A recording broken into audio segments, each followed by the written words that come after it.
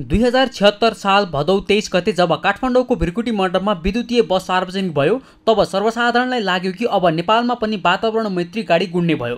हामी पनि विद्युतीय गाडीमा यात्रा गर्न पाउने भइयो। सर्वसाधारणले सोचे जस्तै काठमाडौँको रिङ रोडमा अहिले पनि चारवटा सार्वजनिक विद्युतीय सवारी साधन गुडेका छन्। यात्रुको माग र विद्युतीय गाडीमा सरकारले कर छुट दिने भनेपछि सुन्दर यातायात प्रणालीले चारवटा गाडीबाट बढाएर सयवटा पुर्याउने लक्ष्य बनायो।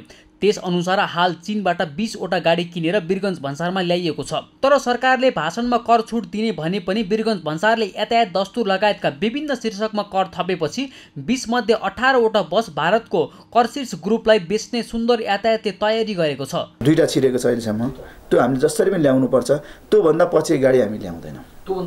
उतै उतै रिटर्न अठारवटा उतै रिटर्न गरिदिन्छौँ। अब त्यसमा हामीले रिटर्न गर्दा हामीले थोरै मात्र हर्जना तिरे पुग्छ भने ल्याउँदा हामीले त्यसको छ गुणा बढी हर्जना तिर्नुपर्ने त्यो हामी फर्काउँछौँ। र हामी सम्भावित शुक्रबार छ भोलिको समय। भोलि हामीले एक दुई बजीसम्म कुनै पनि नतिजा पाएन भने हामी दुई नै बजे गाडी रिटर्नको लागि हामी आफू पनि पहल गर्छौँ। सरकारले विद्युतीय सार्वजनिक बसलाई कर छुटको घोषणा गरेर प्रोत्साहन गरे पनि व्यवहारमा लागू नगरेको अध्यक्ष थापाको गुनासो छ। एक करोड अस्सी लाख रुपियाँमा किनेको बसमा चालिस लाख रुपियाँ कर तिर्नुपर्ने भएपछि गाडी भारतमा बेच्न लागेको प्रालीले जनाएको छ।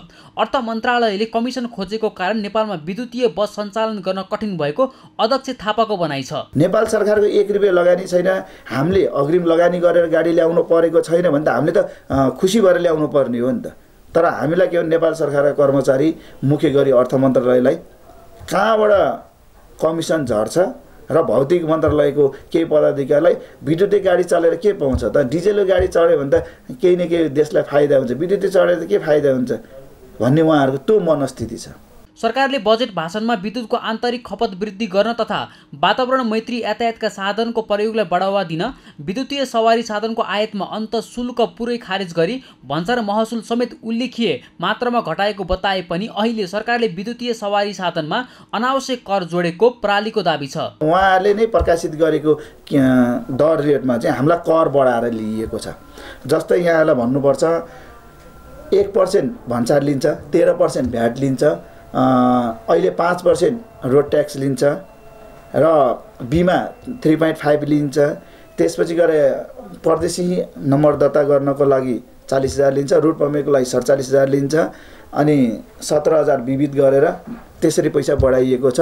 विश्वका धेरै विकसित मुलुकमा पेट्रोलियम पदार्थको सवारी साधनभन्दा बढी विद्युतीय सवारी साधनको प्रयोग बढ्दै गएको छ। सरकारी नीति अनुसारको सहुलियत तथा पूर्वाधार विकास निर्माणमा जोड दिए नेपालमा पनि विद्युतीय सवारी साधनको खपत बढ्ने पक्का छ। जसले गर्दा पेट्रोलियम पदार्थमा बाहिरिने खरबौँ रुपियाँ नेपालमै रोकिनेछ। पेट्रोलियम पदार्थबाट हुने प्रदूषण पनि कम हुनेछ। नेपालमा विद्युतको खपत बढ्ने निश्चित नै छ। यसबाट देशको अर्थतन्त्रलाई ठुलो टेवा पुग्ने निश्चित छ। तर बजेट भाषणमा घोषणा गरे अनुसारको छुट नपाएको भन्दै व्यवसायीहरू हत्तोसाहित बनेका छन्। निजी क्षेत्रका लगानीकर्तालाई हत्तोसाहित बनाएर विकासको लक्ष्य हासिल गर्न असम्भव हुन्छ। यसतर्फ सरकारवाला निकायको ध्यान जानु जरुरी छ। सगरमाथा टेलिभिजनका लागि क्यामेरामा पूर्ण वाग्लेका साथमा अमृत रकाल काठमाडौँ।